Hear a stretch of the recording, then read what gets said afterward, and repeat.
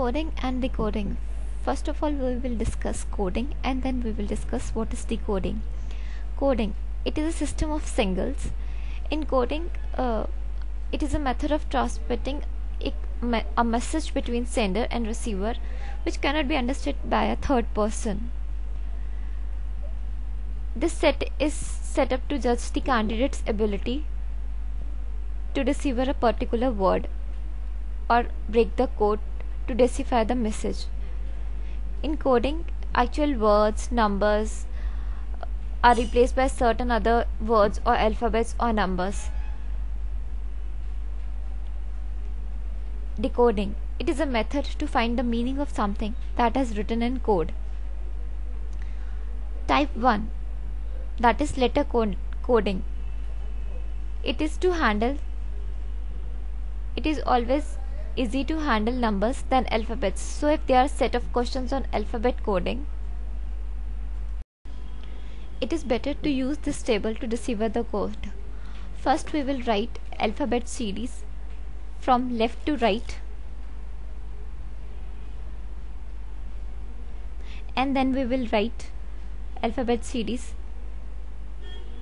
right to left and we will number these series first we will discuss left to right. A b c d e f g h i j k l m n o p q r s t u v w x y z. As we all know that there are 26 letters in the english alphabets.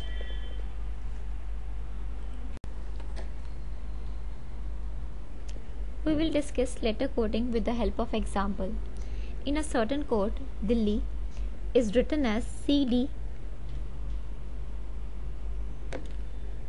CDKGH. How is suspect? How is suspect written in code? Solution. Clearly we can see that each letter of the word Delhi is moved one step backward to obtain the code. D implies C. D implies C.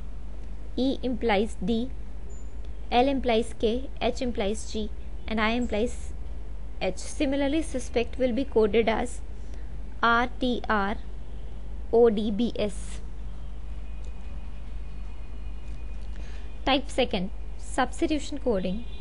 In substitution coding, some particular objects are assigned code names. Then a question is asked that is to answer in the code language. We will discuss substitution coding with the help of example. If light is called morning, morning is called dark, dark is called night, night is sunshine and